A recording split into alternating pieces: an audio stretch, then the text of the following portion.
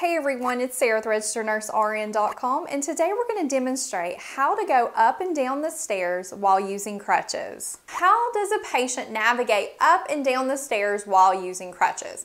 Well, you want to keep these two straight and what I'm meaning is which leg is going to go first up the step versus which leg is going to go down the step first. And to remember that, remember good up and bad down. So whenever a patient is going up the stairs, their good leg is going to go first up on the step, followed by the crutches and the bad leg, which will proceed and go up the step.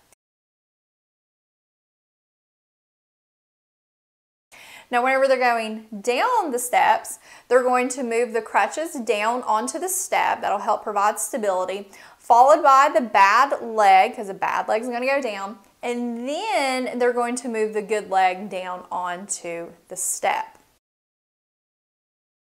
Thank you so much for watching, and don't forget to subscribe to our channel for more videos.